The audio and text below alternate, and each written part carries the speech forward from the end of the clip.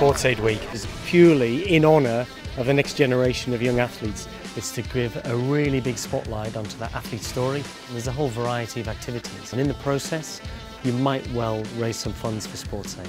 Everyone's doing a bit for Sports Aid Week. Former athletes like myself have benefited greatly from the, the charity. It's why we are getting involved and hopefully encouraging and letting the, the youngsters know that um, we're right behind them.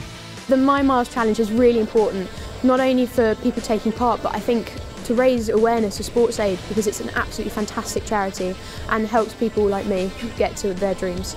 I owe a huge amount to Sportsaid because they, they really, really helped me out um, and it's, it's my way of saying, you know, thank you and giving back to them and, and you know, trying today and, and for future events to try and raise as much money to try and help the next up, up and coming athletes. They get the money into the hands of the young athletes as they're growing up and building up towards uh, getting onto the kind of the bottom rung of the ladder into, into the elite program and great to be involved with them.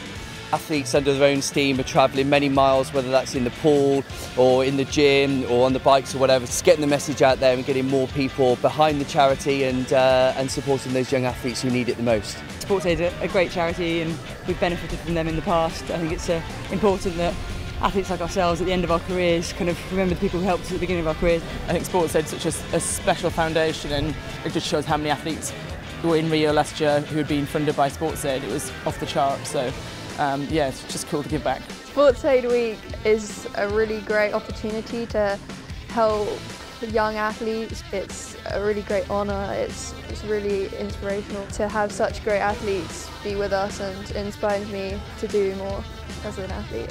I think if you actually look at the amount of training that goes in, the amount of effort that some of these athletes put in, the support that they get from family and friends uh, to achieve their goals, you just realise just how much commitment it takes. So actually encouraging the wider community to get involved actually gives them a chance to, to see what an athlete goes through on that journey. My Miles is a window into what professional athletes go through, the, the hard work they put in. So for you to support that by going outside, having fun and, and doing something healthy it is imperative for the future of, of sport for our country. My Miles is an emotional connection to the effort of the next generation. They're out there every single day swimming and cycling and rowing and riding and when we can get people to do something under their own steam and say well vicariously I'm trying to help them, I'm with them and if we can have Olympians who've been helped by Sportsaid before, it's just a lovely proof point and it extends the team. They're making the difference themselves.